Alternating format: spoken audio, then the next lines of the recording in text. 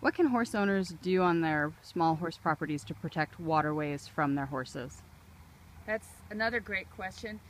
And what it the answer is that it's really important for us to fence off all of our waterways or create barriers so that horses and livestock cannot access the waterways.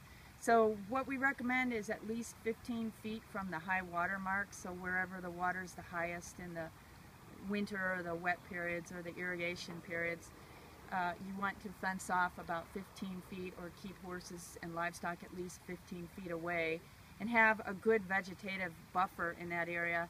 And that vegetation acts as a filter for any nutrients that might run towards the water. So nutrients would be from like urine or manure. And those plants will utilize the nutrients and keep them out of your waterways. So fence off and keep them at least 15 feet away from your water source